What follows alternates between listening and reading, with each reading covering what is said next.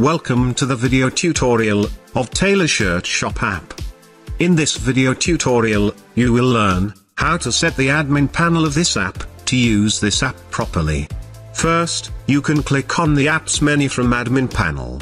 You will see our Tailor Shirt Shop app in the installed apps list.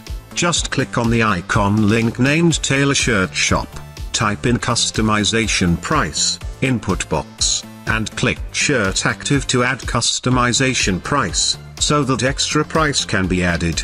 Click on make shirt. You can make various customizations, just as going to a tailor but without going there, from home or any other place.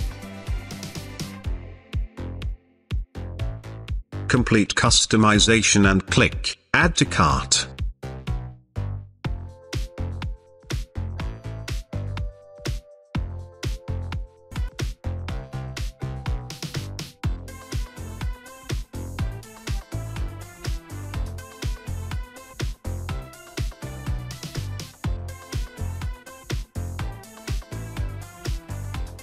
Click to view the customized shirt.